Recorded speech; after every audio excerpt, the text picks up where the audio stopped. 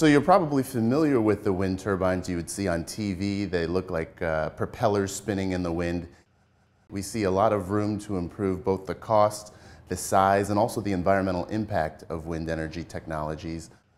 So our work begins here in the laboratory, testing these new innovative concepts for wind turbines, but ultimately we'd like to get evidence that they'll work in the real world. And for that we use our facility in Southern California, where we have up to 24 of these 30 foot tall vertical axis wind turbines.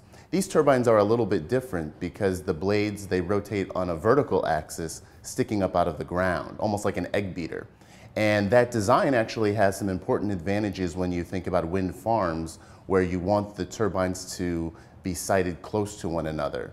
The airflow from one of these vertical axis wind turbines, as we call them, can improve the performance of the neighboring wind turbines. Now what's unique about our site is that rather than simply installing them at a fixed location as you would normally see in a commercial wind farm, we can actually move these turbines around in any configuration we'd like to. In our actual research, what we'll be looking at are configurations inspired by schools of fish, flocks of birds, a variety of natural systems where we know that groups can perform better by interacting with one another. In wind energy, the status quo has always been to put the wind turbines far apart from one another so that they don't interact. However, in this case, we're finding that we can get significant advantages by putting the wind turbines close together.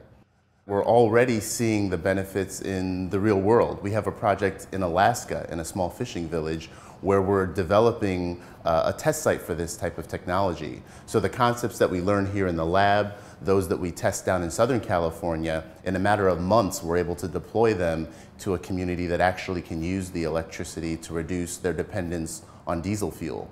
Now, further along in, in the timeline, we want to look at more exotic designs than even the one you see here turbines with flexible blades that can bend in the wind like a tree does to survive very high wind events.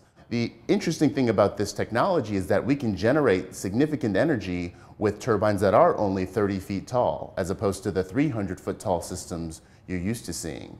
And so what that potentially means is lower costs, a lower environmental impact in terms of interaction with birds and bats, and also a lower visual signature, which means we can install these closer to the end user.